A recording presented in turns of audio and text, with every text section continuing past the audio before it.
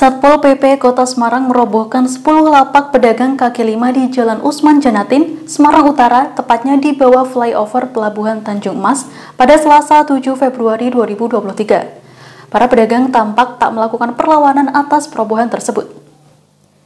Kepala Satpol PP Kota Semarang Fajar Purwoto SHMM mengatakan, pemerintah Kota Semarang akan membangun taman sepanjang 1 km di kawasan bekas PKL ini.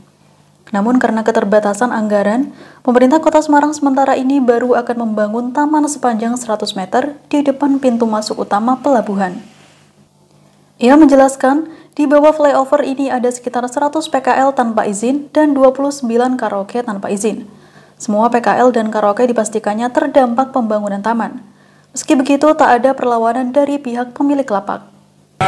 Jadi hari ini kita melakukan pengukuran, pengukuran dan bongkar PKL yang akan dibuat oleh DPU Taman. Ya karena ini program eh, apa? Tamanisasi itu dari pintu 2 sampai pintu 4. Satu kilo, Mas. Cuman saat, saat rapat pertama memang kami sampaikan akan dibuat taman. Kita tunggu DD. Karena DPU itu sudah buat DD hampir satu tahun lebih ya, Mas. Ya. Satu tahun ya, kami komunikasi sama Bu Wali untuk segera dilaksanakan. Tapi mengingat anggaran ini tidak bisa global karena hampir 10 M sehingga dipipil. Yang jelas pintu masuk ini harus steril sehingga kami sepakat dengan DPU tadi yang kanan 50, yang kiri 50. Saya terima kasih pada Mas Eko sama teman-teman yang membantu ini sehingga kita hanya tadi menyisakan 4 PKL kita kita bantu bongkar ya. Apakah yang ke sana nanti akan digarap ya.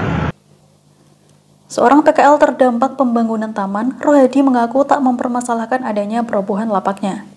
Dengan apa ini namanya pembongkaran bagaimana mas? Sudah diberitahu belum sebelumnya? Sudah, sudah, sudah. Berapa, kapan mas diberitahunya mas?